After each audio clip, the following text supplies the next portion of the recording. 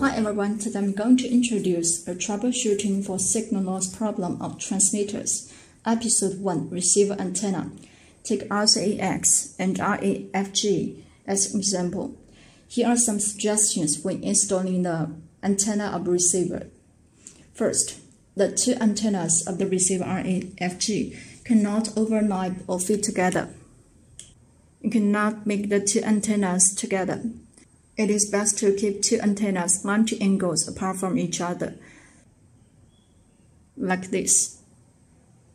If there is only one antenna tube in your car, do not put two antennas in one antenna tube.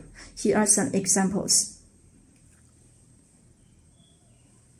Second, please place the two antennas vertically upward here. And they also need to come out antennas cannot be placed along the car body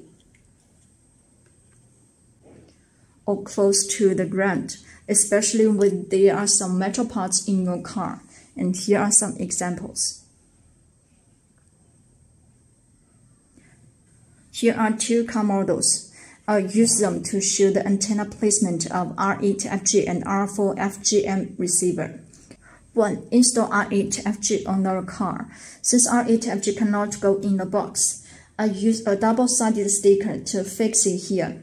There are supporting rods on the car, and I fixed the two antennas on the supporting rods separately with the plastic straps. Here it is. And make the two antennas vertically upward. Bend the antennas outward so that the two antennas are at some angles apart. 2.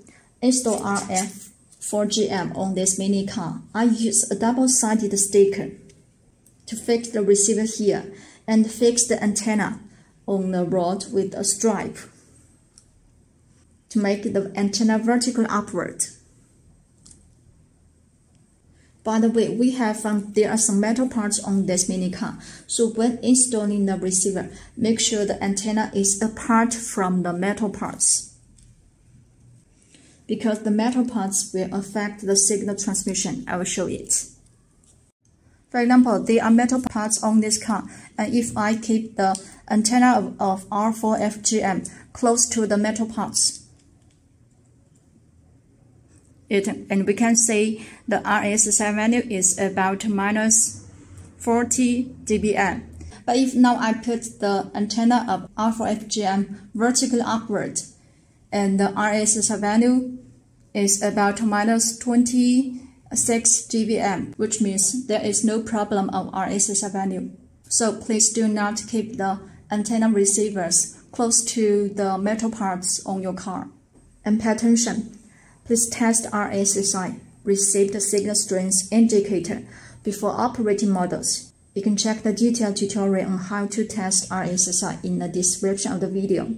And please check the receiver antenna and transmitter antenna before operating models.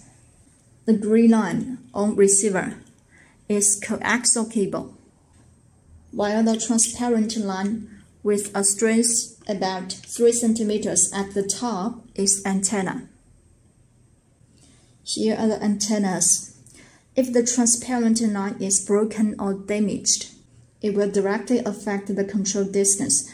If any abnormality is found, please replace the receiver antenna in time. For example, we can see the antennas of this R8FG is in good condition, but the antenna of other R8FG is damaged. This one is damaged. So for the receiver with damaged antenna, the RSSI is abnormal and the control range is short.